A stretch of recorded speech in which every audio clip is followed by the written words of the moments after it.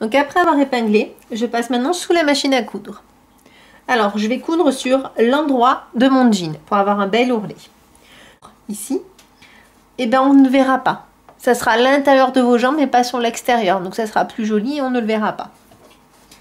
Donc, vu que j'ai un biais qui fait plus de 1 cm, je cale mon ourlet ici, de telle sorte que ma valeur d'ourlet fasse 1 cm, pour que ça fasse joli. Je commence, donc je vais doucement, toujours doucement sur mes coutures intérieures et extérieures, car c'est plus épais, et j'avance.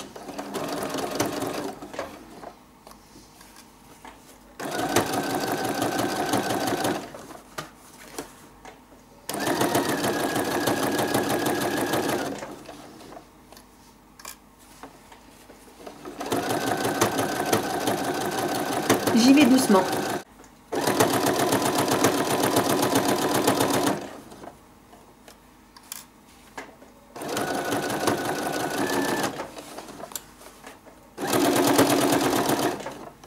Donc là, je vais arriver où c'est épais. Très épais. Donc on y va vraiment doucement. Pour éviter de casser l'aiguille. N'hésitez pas à pousser avec vos doigts et à tirer un petit peu derrière. Doucement.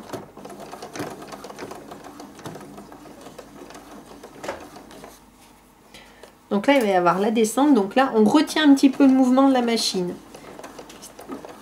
Comme ceci.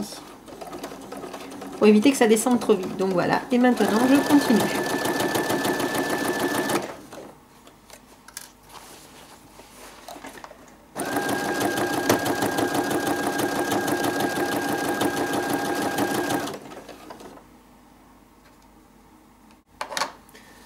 Donc ici maintenant on va rejoindre notre couture, vu que nous avons commencé un petit peu plus loin que la couture de côté.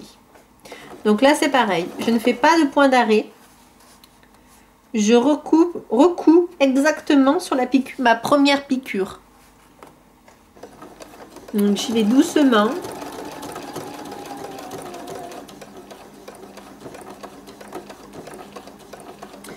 Et c'est pareil, on dépassera la couture intérieur du jean.